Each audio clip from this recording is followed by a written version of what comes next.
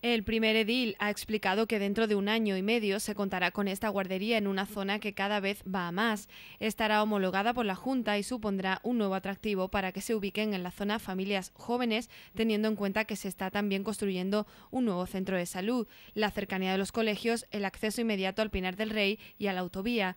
El alcalde añadió que por todo ello animaba a los matrimonios jóvenes a que se acerquen a Enroque y soliciten información sobre las viviendas que quedan libres, unas 30 o 40 de las 150 que se están construyendo a precios moderados, con muchas facilidades y subvenciones. Además, estas viviendas son de lujo y cuentan con garajes, trasteros, locales comerciales, etc. A finales de diciembre se firmó el convenio de colaboración entre el Ayuntamiento y la Consejería de Educación para la construcción de esta nueva escuela infantil. El dinero recibido este pasado miércoles corresponde a la subvención correspondiente para poder sacar el proyecto a licitación y supone el 75% de los 600.000 euros de presupuesto total.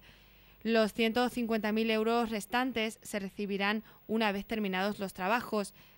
El teniente alcalde delegado de Educación, Ramón Ramírez, ha apuntado que con la llegada de esta subvención se recoge el fruto del trabajo realizado por su departamento desde diciembre de 2009, cuando se solicitó la subvención a la Junta y se puso a disposición estos terrenos, unos 4.000 metros cuadrados, además de ajuntarse el proyecto realizado desde el Departamento Municipal de Urbanismo.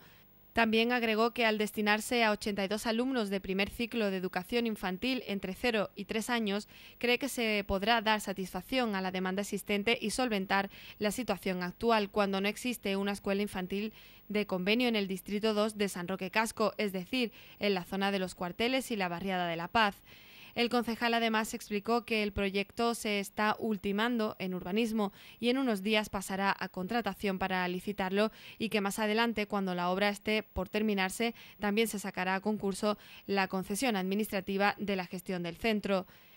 El convenio firmado en diciembre regula los distintos aspectos de la creación de esta escuela infantil que se llamará El Almendral y se ubicará en la calle Casañal. La titularidad la ostentará el ayuntamiento que se obliga a impartir en dicha escuela infantil el currículo correspondiente al primer ciclo de educación infantil de acuerdo con los contenidos educativos establecidos por la Junta de Andalucía.